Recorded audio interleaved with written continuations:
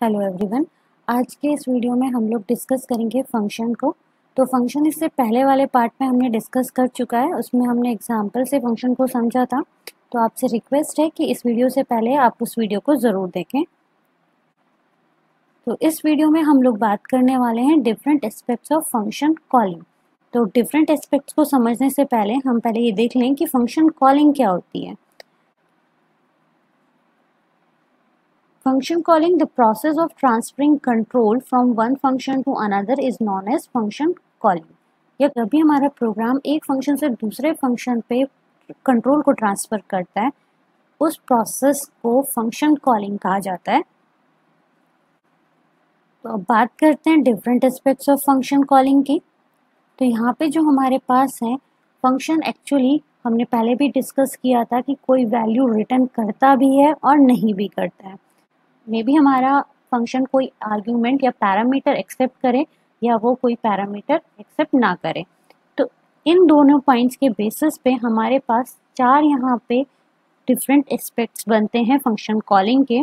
तो जो इसमें पहला है function without argument and without return value means हमारा फ़ंक्शन ना तो कोई आर्ग्यूमेंट रिसीव कर रहा है और ना ही कोई वैल्यू रिटर्न कर रहा है। सेकेंड है function without argument and with return value हमारा फ़ंक्शन कोई आर्ग्यूमेंट एक्सेप्ट नहीं कर रहा है बट वैल्यू रिटर्न कर रहा है after execution function with argument and without return value may be हमारा फ़ंक्शन आर्ग्यूमेंट रिसीव कर रहा है बट वो कोई वैल्यू रिटर्न नहीं कर रहा है. The last function with argument and with return value तो ये तो है इसका थियोरटिकल पार्ट कि हमारे पास ये डिफरेंट एस्पेक्ट्स होते हैं फ़ंक्शन कॉल करने के। प्रैक्टिकल एग्ज़ाम्पल के थ्रू समझते हैं कि किस तरीके से हम without argument and without return type बात कर रहे हैं या डिफरेंट एस्पेक्ट्स की बात कर रहे हैं। तो शुरू करते हैं function without argument and without return value के साथ। तो ये हमारा एक छोटा सा प्रोग्राम है जो हम ऑलरेडी प्रीवियस वीडियो में डिस्कस कर चुके हैं। तो यहाँ पे हम एग्जीक्यूशन नहीं देखेंगे क्योंकि एग्जीक्यूशन हम डिटेल में इससे प्रीवियस वीडियो में देख चुके हैं।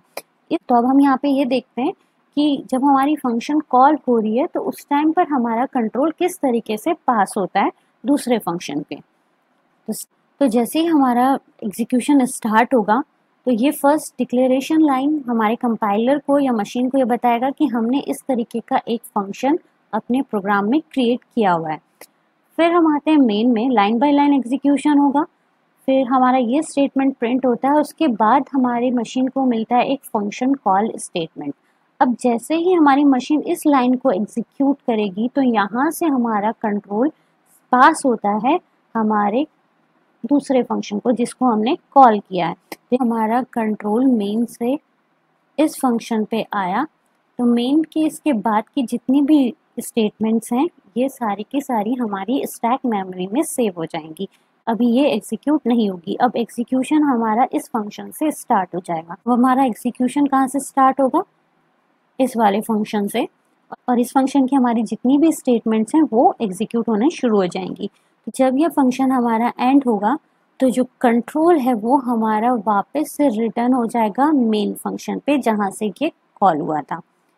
और उसके बाद हमारी जो नेक्स्ट लाइन है मेन की, वो एग्जीक्यूट होने लगेगी।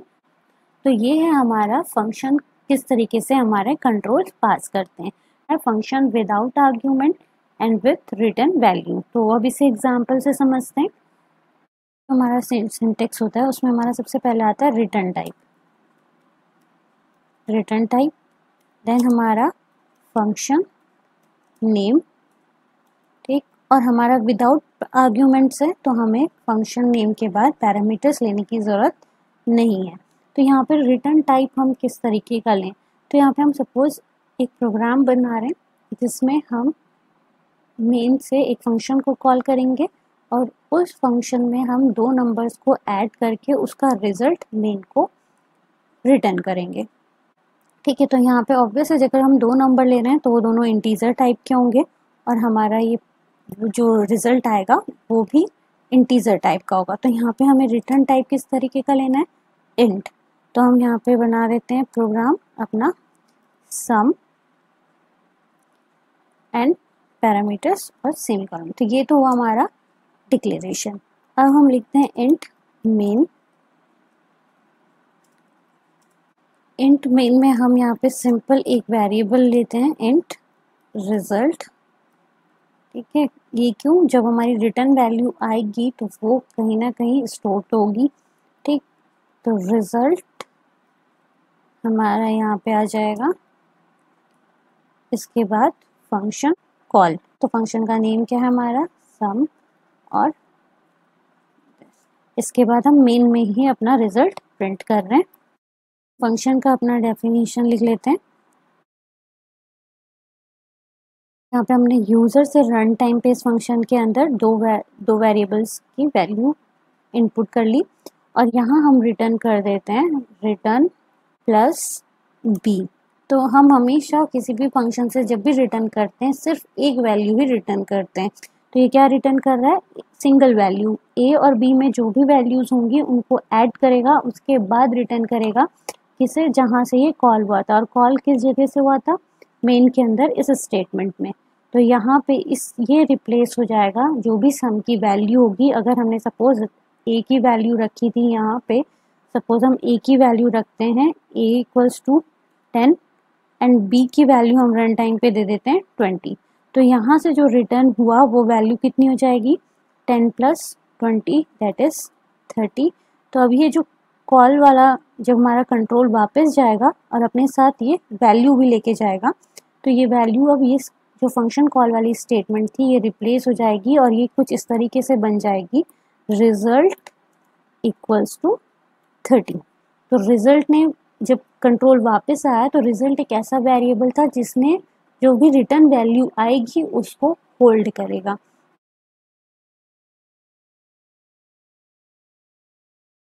Third one is function with argument and without return value without return type है मीन्स जब भी हमारा फ़ंक्शन कोई वैल्यू रिटर्न नहीं कर रहा है तो हमने पहले भी डिस्कस किया था कि उसके रिटर्न टाइप में हम लिखते हैं वॉइड अब हम सेम एग्जांपल ही यूज़ कर रहे हैं सम का दो विद आर्ग्यूमेंट्स तो विद आर्ग्यूमेंट्स में हमें यहाँ पे इसको पैरामीटर्स देने पड़ेंगे।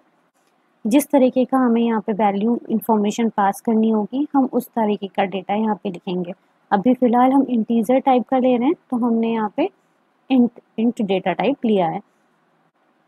इसमें हम दो अपने वेरिएबल बना लेते हैं इंट ए और इनको रन टाइम की जगह हम यहीं पे ही इनको वैल्यू असाइन कर देते हैं ए और B equals to suppose twenty तो अब यहाँ से हम अपना फ़ंक्शन कॉल करते हैं और फ़ंक्शन कॉल करते हुए हम कैसी वैल्यू इसको पास कर रहे हैं? हमने यहाँ पे फ़ंक्शन के जो पैरामीटर्स हैं वो कैसे लिए इंटीजर मीन्स जब भी हम इस फ़ंक्शन को कॉल करेंगे, इसे हम कॉल करते हुए हमेशा इंटीजर वैल्यू ही पास करेंगे। और जितने यहाँ पे पैरामीटर्स होंगे उतनी ही वैल्यू हमें इसे पास करनी है। अगर हमने दो पैरामीटर्स लिए हैं तो हम दो वैल्यूज़ यहाँ से पास करेंगे। यहाँ से हम ए और बी की वैल्यू इसे पास करते हैं। ठीक है तो सिंपल जब ये फ़ंक्शन हमारा कॉल होगा, ये अपने साथ ए और बी की वैल्यू पास करेगा सम फ़ंक्शन को। ठीक है पे ए की वैल्यू टेन है और बी की ट्वेंटी फ़ंक्शन की डेफिनेशन पे आते हैं अपना वॉइड सम अब ये हमारे लिए ऑप्शनल है कि जब हम डिक्लेयर कर रहे हैं वेरिएबल को आइडेंटिफायर दें या ना दें, हम सिर्फ़ उसका डेटा टाइप भी डिफाइन कर सकते हैं। ठीक? बट जब हम लाइन कर रहे हैं तो हमें डेटा टाइप के साथ उसे नेम भी देना पड़ेगा। तो हम यहाँ पे इस तरीके से दे रहे हैं इंट और वाई ठीक? तो यहाँ पे क्या होगा कि जब ए की वैल्यू पास हुई तो ए की वैल्यू आएगी एक्स पे। तो ए की वैल्यू कितनी थी? टेन तो एक्स की वैल्यू हो जाएगी टेन और बी की वैल्यू कितनी है? ट्वेंटी तो बी की वैल्यू हो जाएगी वाई पे ट्वेंटी तो ये है पैरामीटर लिस्ट तो जैसी पैरामीटर लिस्ट आप डिक्लेरेशन पे लोगे, उसी तरीके से आप डेफिनेशन पे भी लोगे। अगर आपने यहाँ पे फ्लोट और इंट लिया है तो वही सीक्वेंस आपका यहाँ पे भी होना चाहिए कि ये फ्लोट होगा और ये इंट होगा।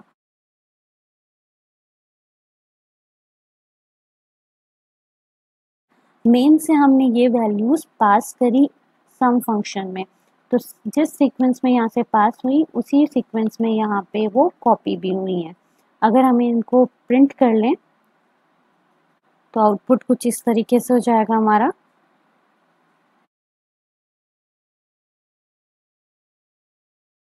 ठीक है x equals to ten and y equals to twenty now the fourth is function with argument and with return value return value के साथ फ़ंक्शन क्रिएट करेंगे तो हमें यहाँ पे रिटर्न टाइप लेना पड़ेगा। तो हम यहाँ पे अभी ले लेते हैं इंटीजर पे प्रीवियस एग्जांपल ले रहे हैं। सम का। अब इसमें हमें आर्ग्यूमेंट्स भी लेने हैं तो हम यहाँ पे सपोज़ दो आर्ग्यूमेंट्स यहाँ पे क्रिएट कर लेते हैं।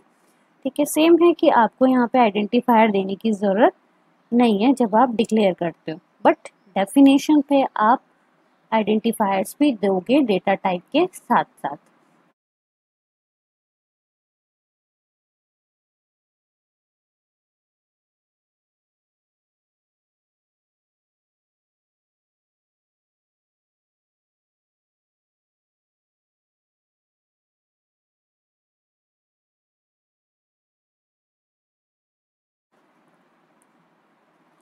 तो ये है हमारा मेन का कोडिंग अब हम आते हैं अपने फ़ंक्शन डेफिनेशन पे।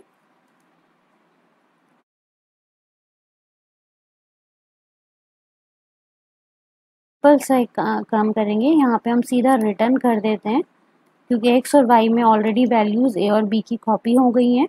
और यहाँ पे हम सम कर देते हैं एक्स प्लस वाई रिटर्न ठीक है? तो अब इसका एग्जीक्यूशन किस तरीके से होगा कि जब हम मेन में आएँगे।